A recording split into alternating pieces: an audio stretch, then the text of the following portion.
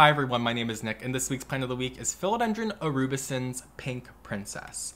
This is probably one of the most highly sought after plants on the market that I have in my home as of right now, and I totally get it. This plant is freaking gorgeous with that bright pink variegation and that black coloration that the new leaves have. Of course, that black color does fade back to a green over time, but it is something to really celebrate. It's so beautiful, and I do understand completely why people are so head over heels for this plant.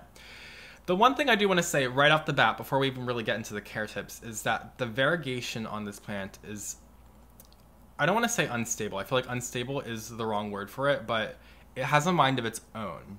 So while it never really seems to go away, it it does what it wants. So you can see on like my lower plant when I first got it, it was really just like all green leaves and it was just very, for lack of a better term, boring looking compared to the way it looks at the top. But as it started to get a little older and it started to put off some of these pink leaves, it really was just like going back and forth between like pink leaf, plain green leaf, pink leaf. I think there was a plain green leaf in here somewhere that had fallen off and then just suddenly it's spitting out these super bright pink leaves and now we're back to just some like splashy leaves. They're still beautiful, but this plant really has a mind of its own. So I don't want someone to shell out a lot of money and expect it to just be like pink forever and just like fully pink. It's not going to happen like that. It's going to bounce back and forth, in my experience at least. I've been growing this plant for ooh, probably about three years. It was one of the first plants that I got when I started doing YouTube.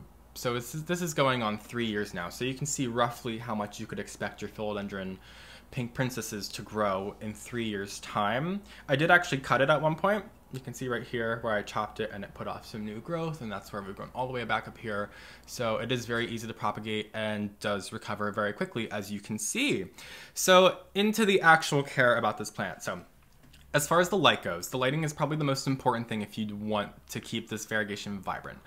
I can't say if that's a fact, I'm just speaking from experience that the more light I give this plant, the more likely it has seemed to put off more variegation. So um, these lower leaves, I was growing the plant all around my home or in west, a western window, I was growing it for a while. And then really this beautiful clump of leaves up at the top here, that probably isn't even on camera that well, um, those really appeared ever since I moved it under my Soltech Solutions aspect light, which I have behind me, which is what is illuminating all of this bright yellow light back here. And I will leave a link in my description. You can get 15% off your own Soltech Solutions aspect light if you're looking to get one yourself.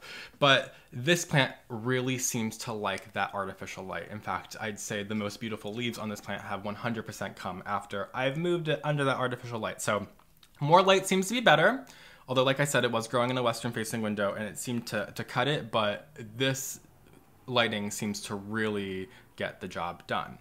As far as watering goes, I am not watering this plant that often. I'm probably watering it, mm, I would say once a week is a little too much for what I'm giving it. Keeping in mind, it's kind of hidden. So it's sitting in this plant display behind me here, and it's it's in a six inch terracotta pot, and this pot is kind of hidden beneath some other plants, so I don't really have visual access to it, so I do really have to get in there to check on it.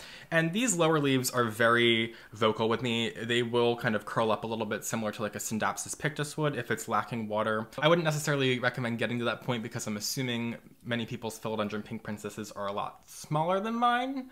So you probably wouldn't want to risk, you know, possibly losing some lower leaves from underwatering. But basically, it's better to underwater than overwater in pretty much any cases for your plants. But specifically with aroids, philodendrons in general, I would say underwatering is going to be so much better than overwatering. If you are overwatering your philodendron pink princess, you're going to notice these dark leaves start to get sickly yellow looking and they will fall off and it's just not going to be fun. And you can see that I've I have really lost like all the leaves on the lower stem, which does happen over time. It totally happens. Uh, but I could probably pay closer attention to this plant and maybe water it a little bit more often than just leave it be. So I'm watering my philodendron pink princess. We're going, we're getting off on a tangent, but I'm watering my pink princess probably like every two weeks. But I would say I should be a little bit more um, I should be paying a little bit more attention. I should probably be watering this plant roughly every 10 days with the conditions that I have it in.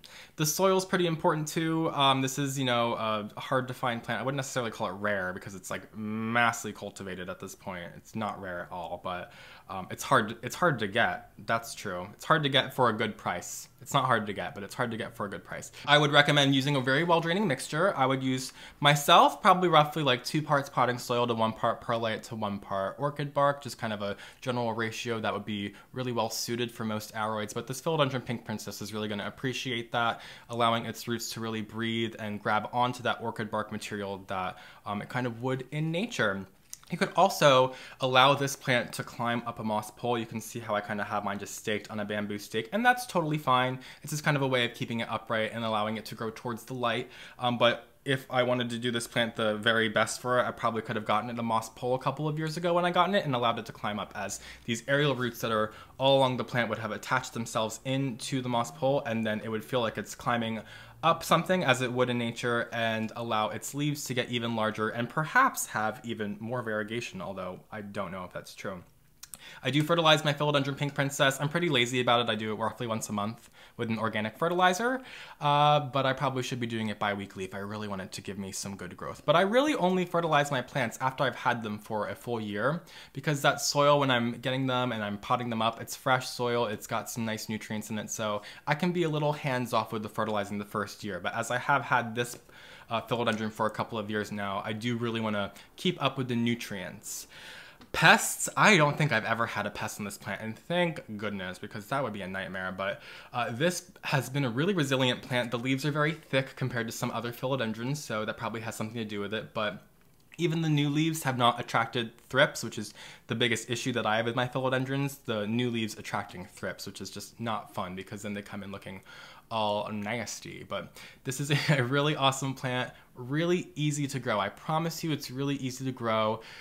I just I know that it comes with a hefty price tag, like literally a hefty price tag. So just something to keep in mind. I want you to feel confident about it if you do want to bite the bullet and go ahead and get this plant, or if you are already growing this plant in your home, I want you to feel confident that you can successfully grow it because I've been successfully growing it for three years and I honestly barely think about this plant. I let it do its thing and it just seems to be okay with me doing that. So if you have any tips for growing philodendron pink princess in your home, I would really love to hear as this is a very popular plant and a lot of people grow it or are looking to grow it. So I'd really appreciate it.